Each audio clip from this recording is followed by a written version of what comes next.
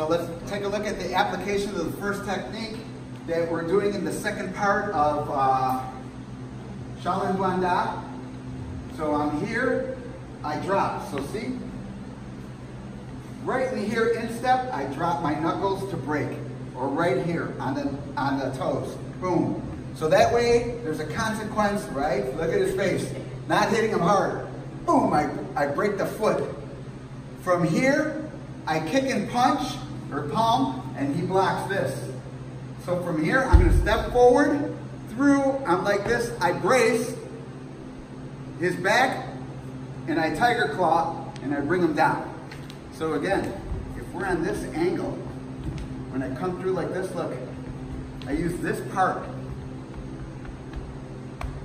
because I'm gonna I'm gonna crack this with this as this goes through and down. So next technique. He goes to clutch the throat. I trap it here. I step behind with my left foot and I try to attack the groin. And he's here.